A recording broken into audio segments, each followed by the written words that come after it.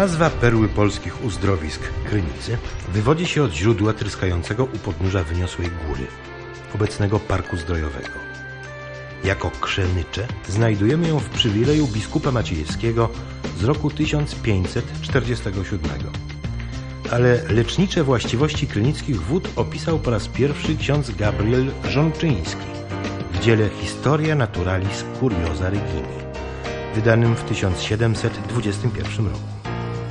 Zaczątkiem uzdrowiska był mały domek, w którym z początkiem XIX wieku rozpoczęły działalność pierwsze zakłady kąpielowe. Już wówczas w szeroki świat wysyłano 15 tysięcy flaszek wód mineralnych rocznie. Prawdziwy rozkwit Krynicy nastąpił w pół wieku później, za sprawą wybitnego balneologa, profesora Uniwersytetu Jagiellońskiego, doktora Józefa Dittla. Gdy zdrój główny ujęto w kamienną cembrowinę, źródła zaczęto wykorzystywać w wodolecznictwie, zaś lekarze zdrojowi rozpoczęli wspomaganie terapii kąpielami borowinowymi. Za sprawą Dittla zbudowano stare łazienki mineralne, łazienki borowinowe, dom zdrojowy i drewnianą pijalnię główną. Z krynickich dobrodziejstw korzystali wówczas m.in. Jan Matejko, Artur Grodger, Henryk Sienkiewicz i Józef Ignacy Kraszewski. Ale prawdziwa moda na kurort opanowała Polskę międzywojenną.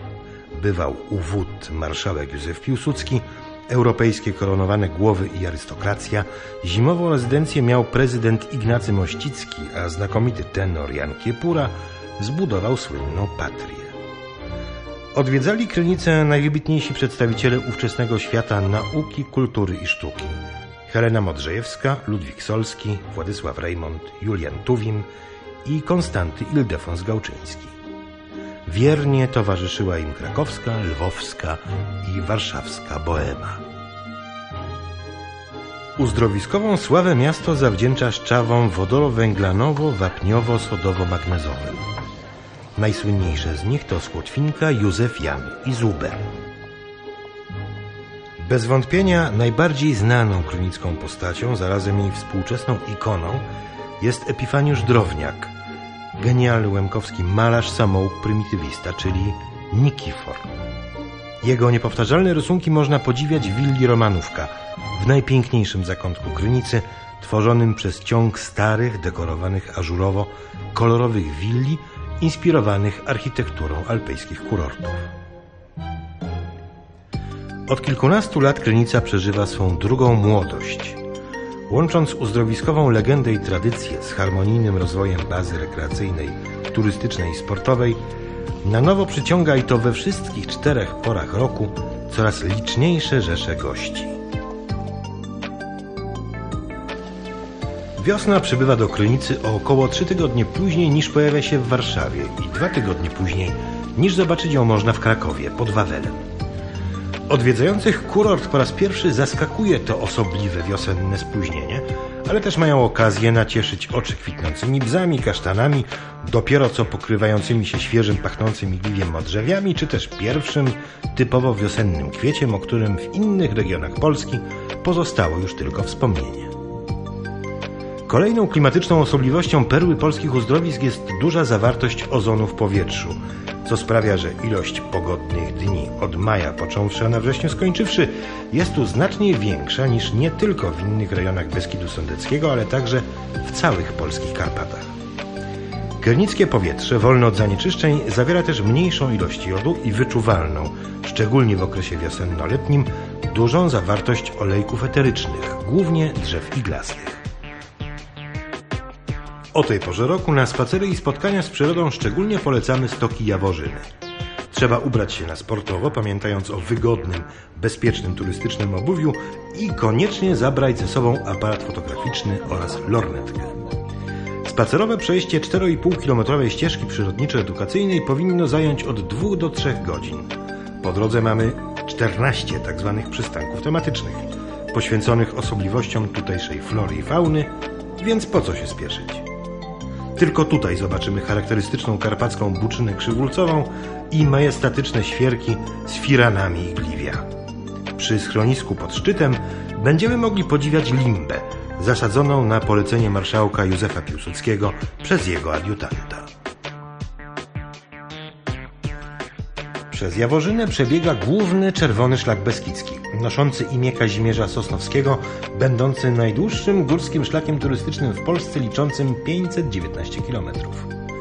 Choć często słyszy się opinie, że turystyka piesza i górskie wędrówki czas prosperity mają już za sobą, to jednak corocznie przejście tej trasy przyciąga tysiące nowych zapaleńców szukających satysfakcji w zdobyciu kilkudziesięciu szczytów oraz poznaniu niezliczonych ciekawych miejsc i krajobrazów.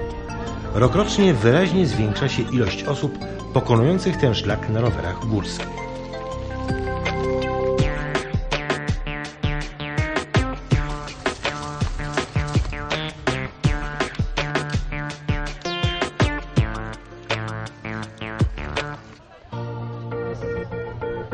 Jaworzyńska część Beskidu Sądeckiego oferuje także wypady na kolejne, boczne, dobrze oznakowane trasy turystyczne. Szlakami niebieskimi wychodząc z deptaku można dotrzeć do Powroźnika i Leluchowa. Szlaki zielone zawiodą trampów do Mochnaczki i Muszyny. Szlaki żółte, łatwe nawet dla niewrobionych piechurów, okalając Krynice dają możliwość spojrzenia na kurort z innej perspektywy i sfotografowania pięknych panoram. Natomiast szlaki czarne zaprowadzą do Wierchomni Małej, Żegiestowa i Tylicza.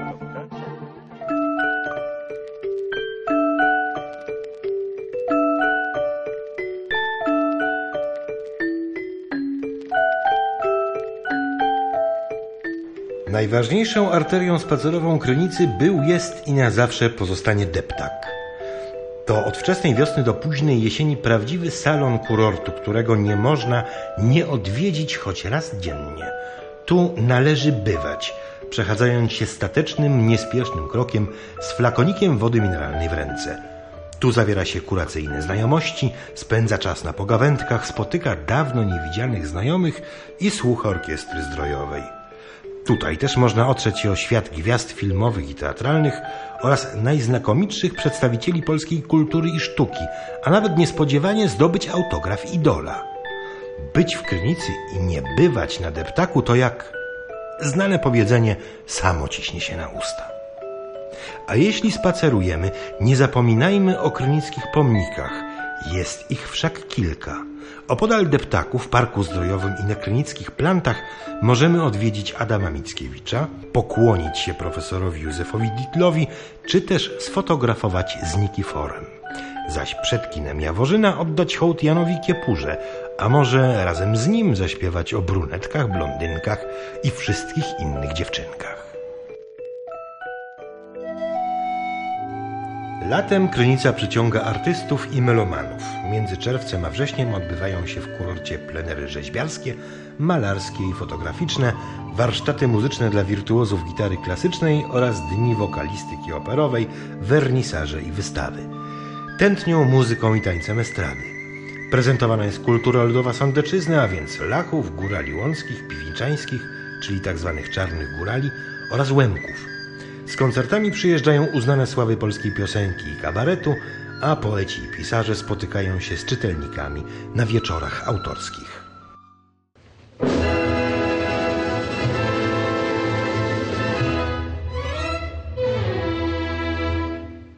Sierpniową Krynicę ukochali nade wszystko artyści operowi i operetkowi. Za sprawą dyrektora Bogusława Kaczyńskiego, honorowego obywatela Krynicy, przybywają tu od blisko trzech dziesięcioleci onegdaj na Festiwal Arii Pieśni imienia Jana Kiepury, a od 2005 roku na Europejski Festiwal noszący imię największego polskiego tenora, uznany od razu za największy letni festiwal w Polsce i w tej części Europy. Formuła artystyczna imprezy przewiduje prezentację dzieł operowych, operetkowych i symfonicznych, spektakle baletowe i teatralne, koncerty promenadowe i przegląd filmów z Janem Kiepurą. Łącznie w ciągu dwóch festiwalowych tygodni występuje około tysiąca artystów, których oklaskuje blisko 60 tysięcy widzów przyjeżdżających z całej Polski, z różnych stron Europy, a nawet z Ameryki i Australii. W dniach festiwalu pijalnia główna zmienia się w wielką salę koncertową dla tysiąca widzów, zaś największe widowisko festiwalowe, zatytułowane Tu, gdzie śpiewał Jan Kiepura, odbywa się na Deptaku w naturalnej scenerii XIX-wiecznej uzdrowiskowej architektury z udziałem blisko 10 tysięcy widzów.